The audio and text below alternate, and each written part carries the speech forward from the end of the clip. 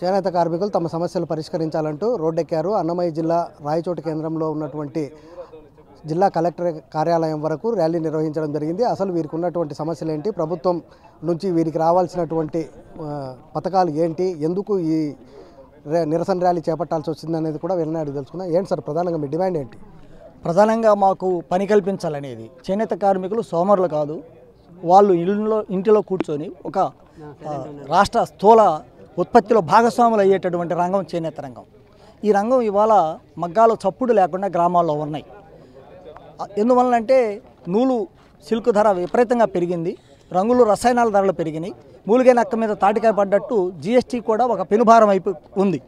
మార్కెట్లో వస్త్ర మార్కెట్ చూస్తే మరి ధర్మవరం మదనపల్లి పట్టుచీరలకు పేరుగాంచినటువంటి ఉమ్మడి ఆంధ్రప్రదేశ్లో పేరుగాంచిన ఇక్కడ పరిస్థితి చూస్తే దారుణంగా ఉంది. రోజుకు ఒక్కరు చచ్చిపోతున్నారు. అంటే ఆకలి తలమటించడం అనారోగ్యంతో చ- చనిపోవటం ఒక కారణం అయితే ఇప్పుడు ప్రత్యేకించి ఉరులేసుకొని పురుగు మందులు తాగి రైలు కింద పడి చచ్చిపోతున్నారు. అలా చీరాల్లో ఒక వారంలో నలుగురు చనిపోయారు. ధర్మవరంలో మూడు నెలల కాలంలో పదిహేడు మంది దాకా చనిపోయారు. కారణం పని సొసైటీలు ఇవ్వలేకపోతున్నాయి. మాస్టర్ వ్యవస్థ కూడా ఇవ్వలేకపోతుంది. ఇవ్వలేకపోవడానికి కోట్లాది రూపాయల విలువైనటువంటి చేనేత చీరలు మార్కెట్లో అమ్ముడుపోయినటువంటి పరిస్థితి దుస్థితి. రేట ధర రేటు తక్కువలో మరి మార్కెట్ పోటీ పవర్లు ఇస్తున్నందువల్ల ధర తక్కువకు అమ్ముకోలేక స్టాకులు పెంచి నిల్వలు చేసుకునే శక్తి లేక ఆర్థిక తోడ్పాటు అందించే బ్యాంకులు లేనందువల్ల సమస్య తీవ్రత పెరిగింది. మరి ప్రభుత్వం చూస్తే కేవలం మేము చేనేత చేనేతలకి నేతన్న నేస్తం పథకం ద్వారా ఇరవై నాలుగు వేల రూపాయలు ఇస్తున్నామని చెప్తున్నారు. ప్రభుత్వ లెక్కల ప్రకారం ఒక లక్ష డెబ్బై నాలుగు వేల మంది చేనేత కార్మికులు ఉన్నారు. కానీ ప్రభుత్వం ఇస్తున్నది ఇరవై డెబ్బై మూడు వేల నుంచి ఎనభై ఒక్క వెయ్యి మంది మాత్రమే ఇస్తుంది. మిగిలిన వాళ్ళందరూ ఎట్లా బ్రతకాలి? ఇరవై నాలుగు వేల రూపాయలు నువ్వు ఇస్తున్నది ఒక ఆర్థిక తోడ్పాటు కోసం ఇస్తున్నానని చెప్తూ వృత్తి పరికరాలు కొనుక్కోమని చెప్తున్నప్పుడు మరి ఇతర నూలు సబ్సిడీ పావలా వడ్డీ రుణం అదేవిధంగా సంక్షేమ పథకాలకి బొనకర బీమా యోజన అనారోగ్య పరిస్థితి వస్తే హెల్త్ ఇన్సూరెన్స్ స్కీము వాటికి కావాల్సిన మ్యాచింగ్ గ్రాంట్లన్నీ తీసేసింది రద్దు చేసింది. అంటే దాని పర్యవసానంగా భారం పెరిగిపోయి అనారోగ్య పీడితులైపోతున్నారు.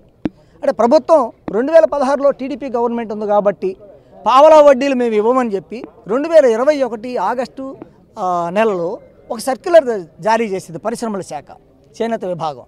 ఆ సర్క్యులర్లో ఇక నుంచి మీరు పావలా వడ్డీ అనేది లేదా ఇంట్రెస్ట్ సబ్వెన్షన్ అనే స్కీమ్ని అమలు చేయొద్దు. ప్రభుత్వం డబ్బులు దాని మ్యా గ్రాంట్గా ఇవ్వడానికి సిద్ధంగా లేదని చెప్పారు. ఒక పక్కన గత ప్రభుత్వాలు రెండు వేల తొమ్మిదిలో రెండు వేల నాలుగులో రాజశేఖర రెడ్డి గారు పెట్టినటువంటి పావలా వడ్డీ interest subvention interest free loans అనే దాన్ని చేనేతలకు వర్తింపజేస్తే మొట్టమొదటిగా ఈరోజు అదే పేరుతో వచ్చినటువంటి వైఎస్ జగన్మోహన్ రెడ్డి ఇవ్వటం లేదు. అంటే ఈ రాష్ట్రంలో చేనేత జాతిని చేనేత కార్మిక వర్గాన్ని రెండవ శ్రేణి పౌరులుగా చూస్తున్నారు. నేను ఈ మాట అనడానికి చాలా బాధపడుతున్నా కానీ అనక తప్పట్లా. ప్రధానంగా మీరు స్ట్రూట్గా ఏం చెప్పదలుచుకున్నారు? ప్రభుత్వానికి అసలు చేనేతలకు ఏం కావాలి? ఉత్పత్తి కొనుగోలు కేంద్రాలు పెట్టి వెంటనే పని కల్పించాలి. నిల్వలు ఉన్నటువంటి చేనేత వస్త్రాలు తక్షణమే కొనుగోలు చేయాలి. ఇప్పటి వరకు ఉన్నటువంటి సహకార వ్యవస్థలో ఉన్నటువంటి బకాయిలు తక్షణమే చెల్లించాలి. ఇవి చేసి చేనేత రంగాన్ని కాపాడాలి. జిఎస్టీ మీద ప్రభుత్వ వైఖరిని ప్రకటించాలి. అదేవిధంగా చేనేతకి నిరంతరం పని కల్పించడానికి తగినటువంటి ఒక ప్రణాళికాబద్ధమైనటువంటి ఆలోచన ప్రభుత్వ విధానంగా రావాలి. భారత భారతదేశంలో పౌరులుగా ఎట్లా ఉన్నావో ఈ రాష్ట్రంలో కూడా మేము పౌరులమే. మమ్మల్ని రెండో తరగతి పౌరు- పౌరులుగా చూసి మబ్బి పెట్టే మాటలు చెప్పొద్దు. నీకు ప్రభుత్వ గత ప్రభుత్వాల మీద కోపం ఉంటే నీ తేల్చుకో ప్రజల్లో తేల్చుకోండి కానీ మా మీద కాదు. ప్రజలు మేము కూడా తండ్రిలాగా లేదా ఒక పెద్ద దిక్కులాగా రాజ్యం ఎప్పుడు పరిపాలనలో ఉండాలి. అది రాజ్యం బాధ్యత. ఆ రాజ్యం బాధ్యత విస్మరిస్తున్నందునే వాళ్ళ మీద ధర్నా చేస్తున్నాం. గతంలో ఏమన్నా ప్రభుత్వం మీకు అంటే ఎన్నికల ముందు వైఎస్ జగన్మోహన్ రెడ్డి మీకు ఇచ్చినటువంటి హామీలు ఇంతవరకు నెరవేరాయా లేదా? అదే దాని మీదనే ఇవన్నీ జరుగుతున్నాయా ఇప్పుడు? గతంలో ఇచ్చినటువంటి ప్రభుత్వ హామీల్లో మాకు ఇవాళ పావల వడ్డీ లేదు. అది ప్రభుత్వం నేతల నేస్తం ఒక్కటే ఆయన ఇచ్చిన ప్రభు హామీ. నేతల నేస్తం ఒక్కటే మా కూడు పెట్టదని చెప్తున్నాం మేము.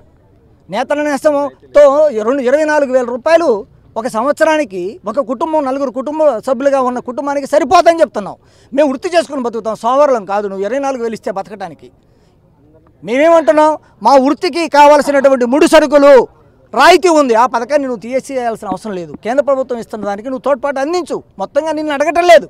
మొత్తంగా నిన్ను మహా భారం మోయమంటలేదు ఒక పక్కన ఒకరికి ఇస్తున్నావు మరో పక్క మాకు తీసేస్తున్నావు ఉన్నదాన్ని. ఇది మేము అడుగుతున్నటువంటి విషయం. దీని మీద ప్రభుత్వం స్పందించాలి. దీని మీద రాజ్యం భాషించాలి.